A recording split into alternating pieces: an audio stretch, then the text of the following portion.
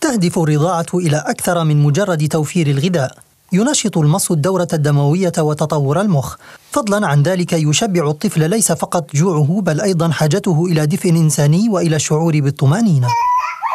Also ich wollte unbedingt stillen, hat auch gut geklappt. Auch der Einstieg, das musste man erst ein bisschen üben, so drei, vier, fünf Mal anlegen. Das musste Pauli erst zu lernen und dann hat sie das aber schnell verstanden, was man da macht.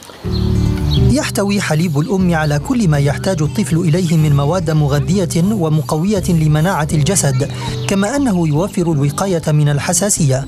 أينما تواجدت الأم تواجد غذاء الطفل وبالكمية المناسبة ودرجة الحرارة المناسبة.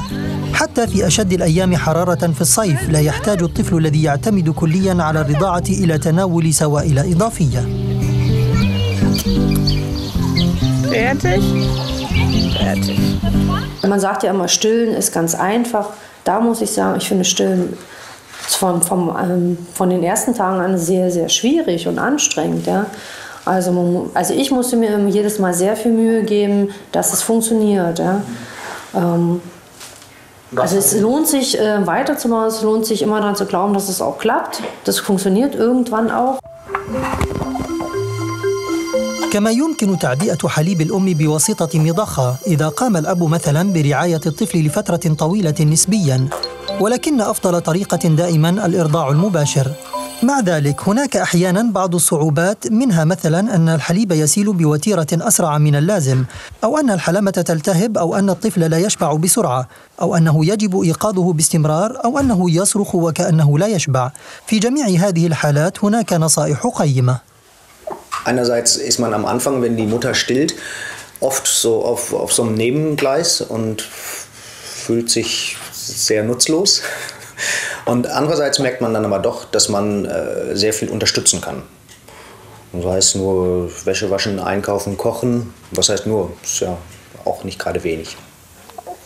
كل ما تتناوله الأم يشربه الطفل. هذا ينطبق على تدخين السيجارة بين حين وآخر وعلى الأدوية كما أنه ينطبق على كأس صغير من النبيذ. من شأن بعض المواد الغذائية أن تسبب لدى الطفل صمدا في منطقة الشرج أو انتفاخ البطن والغازات. لذا عليك خاصة أثناء فترة الرضاعة التقيد بنظام غذائي صحي قدر الإمكان لأن طفلك يقاسمك كل ما تأكلينه.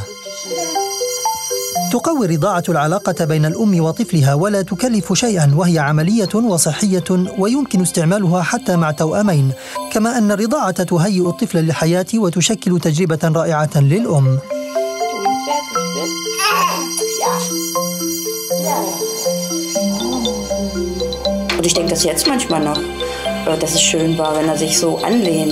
Dann kommt er ja nochmal so in die alte Position, so wie beim Stillen.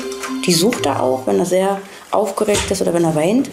Dann möchte er so in den Arm genommen werden wie beim Stillen. Aber also er, er will ja nicht mehr trinken, sondern nur noch kuscheln.